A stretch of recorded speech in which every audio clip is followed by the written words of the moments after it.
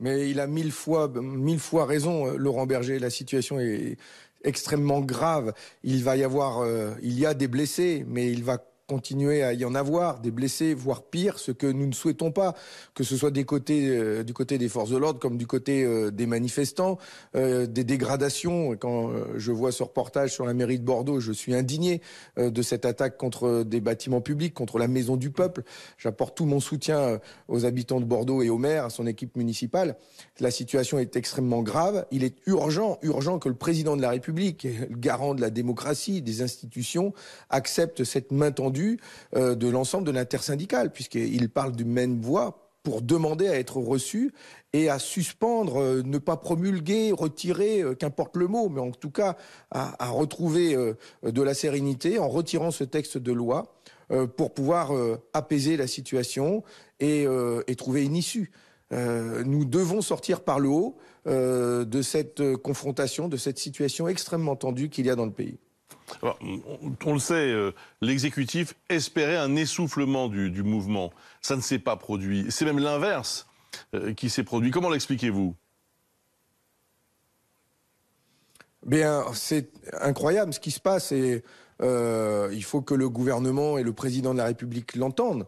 Mais ce qui se passe, c'est qu'on est passé du rejet de la réforme des retraites à de la colère euh, suscité autant par euh, l'usage du 49.3, euh, qui a été vécu comme une, une attitude violente de la part du gouvernement et du président de la République, mais aussi de la colère suscitée par son intervention télévisée hier, qui a été très mal vécue par un grand nombre de nos concitoyens, et ô combien je les comprends, parce que le président de la République a été tellement méprisant envers celles et ceux qui manifestent pacifiquement depuis des semaines et des semaines.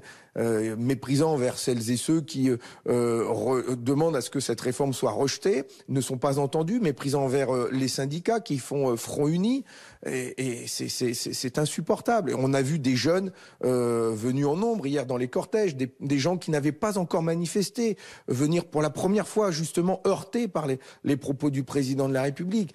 il a jeté de l'huile sur le feu. C'est extrêmement grave. C'est pour ça qu'il doit aujourd'hui entendre ce qui se passe dans le pays. Pour moi, il y a de sa part une forme de, déni, de refus euh, d'écouter ce, que, ce, cœur battant euh, de la République qui s'exprime depuis euh, des semaines et qui s'est fortement exprimé hier. Il doit y avoir une initiative. Alors, elle peut venir des syndicats, on a entendu Laurent Berger, mais l'Élysée, de son côté aussi, pourrait tenter quelque chose, doit tenter quelque chose, selon vous? Il est urgent urgent de répondre à cet appel de l'intersyndicale, de les réunir et de mettre une pause sur cette réforme des retraites, de la suspendre, euh, de la retirer. Euh, il est urgent de le faire urgent de le faire pour que l'on puisse retrouver d'abord de la sérénité dans le pays, euh, pouvoir continuer à, aborder les, autres sujets tellement graves qui nous préoccupent tous. Je pense notamment à l'inflation, aux factures énergétiques qui frappent autant les familles que les entreprises, les PME, les TPE. Enfin, vous pouvez pas vous imaginer, Bruce Toussaint, ce que moi j'entends ici dans ma circonscription. Il y, a des, il y a des boulangeries qui vont fermer, des bouchers qui vont fermer leur établissement parce qu'ils ne peuvent pas payer leurs factures euh, malgré les aides de l'État. C'est aussi ça qui se passe dans le pays en ce moment. Et donc, euh, il est urgent de sortir par le haut. Ou le président de la République euh, répond à cette main tendue, reçoit les syndicats, suspend sa réforme et il le fait tout de suite.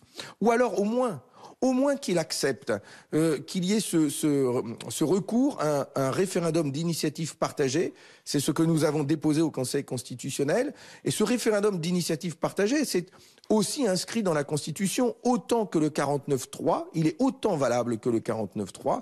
Et donc qu'il entende qu'il y a une demande de référendum d'initiative partagée. Et pendant que ce processus se déroule, eh bien qu'il suspende la réforme. Au, moins, le référendum d'initiative partagée, c'est neuf mois. Le Conseil constitutionnel nous donne neuf mois pour réunir 4 800 000 signatures. Et à la fin, si nous les avons, le président euh, euh, met en place un référendum. Eh bien, qu'il nous laisse la possibilité de réunir ces 4 800 000 signatures. Si nous n'y arrivons pas et si euh, les Français, au, bout du compte, n'en veulent pas, eh bien, dont acte, on, l'acceptera. Mais si nous y parvenons, il met en place ce référendum. Mais pendant ce processus, au moins, qu'il suspende la réforme. Enfin, vous voyez que que ce soit d'une manière euh, légitime, via euh, le RIP, ou que ce soit de manière politique, lui, en décidant maintenant de retirer la réforme, il y a une solution euh, politique à cette crise, et, c'est celle-là qu'il faut trouver aujourd'hui, et c'est urgentissime. Et sinon, et si le président reste inflexible, que se passera-t-il? Mais euh, je suis bien incapable de vous le dire, euh, Bruce Toussaint, incapable, parce qu'il y a deux options. Euh, je vais être franc, hein, ou l'intersyndicale, les partis politiques, nous disons on se retire du mouvement et on laisse le président de la, République face à la colère du peuple, et nul ne peut savoir comment ça peut se, se traduire demain. Ça, c'est une possibilité. Il a suscité la colère eh bien, on le laisse face à la colère. Ou alors, ou alors, nous continuons d'appeler à la mobilisation, nous continuons euh, d'appeler à, maintenir les grèves, même si je sais que c'est dur pour les salariés, je m'adresse à eux pour saluer leur courage et leur dignité à tenir des piquets de grève en ce moment. Nous continuons à manifester, euh, comme nous allons le faire mardi prochain. Nous continuons, nous, responsables politiques, à jouer notre rôle en interpellant le gouvernement. Et d'ailleurs, nous allons étudier, nous, de quelle manière euh, on, on, on, on, continue de siéger ou pas à l'Assemblée nationale et au Sénat C'est une vraie question. Est-ce qu'on continue de travailler sur des textes législatifs comme si de rien n'était? C'est un vrai sujet. Les organisations syndicales se posent elles-mêmes la question. Donc, nous continuons, nous aussi, de, de, nous engager dans ces mobilisations et quelque part, en faisant ça, eh bien, on essaye aussi de, faire en sorte que cette colère, elle s'exprime de manière pacifique, de manière déterminée, euh, comme nous avons, euh, comme, l'intersyndicale l'a fait depuis le début, en sachant que c'est de plus en plus compliqué. Donc, vous voyez, c'est une, période qui est très tendue dans laquelle nous entrons aujourd'hui, provoquée par le président de la République et le gouvernement.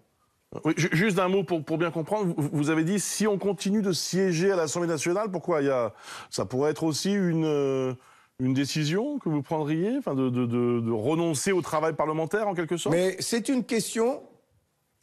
Mais c'est une question que nous nous posons. Est-ce que vous, est-ce que l'on peut mesurer, est-ce qu'on peut se dire d'accord sur le fait que la crise que nous vivons, elle est euh, exceptionnel, historique, euh, historique dans le sens où euh, ça ne s'est pas produit depuis, depuis très très très longtemps, depuis plusieurs décennies? C'est une situation de crise politique, euh, sociale, économique, démocratique extrêmement grave. Est-ce que l'on peut, nous, euh, députés, sénateurs, sénatrices, est-ce que l'on peut continuer de travailler, de discuter avec les ministres, avec le gouvernement, comme si de rien n'était, comme si rien ne se passait en ce moment comme si euh, c'était juste des manifestations euh, euh, et point barre?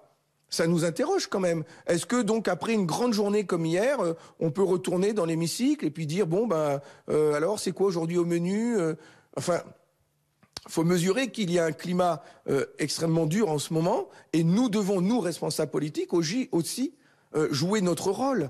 Et nous sommes nous euh, du côté du monde du travail, du côté de ceux qui manifestent, du côté de l'intersyndicale. Et donc nous voulons apporter notre pierre aussi euh, à cette mobilisation et à ce combat. Merci Fabien Roussel, merci pour cette précision d'abord, parce que je voulais être sûr d'avoir bien compris. Merci à vous. Et merci d'avoir répondu à toutes nos, nos questions.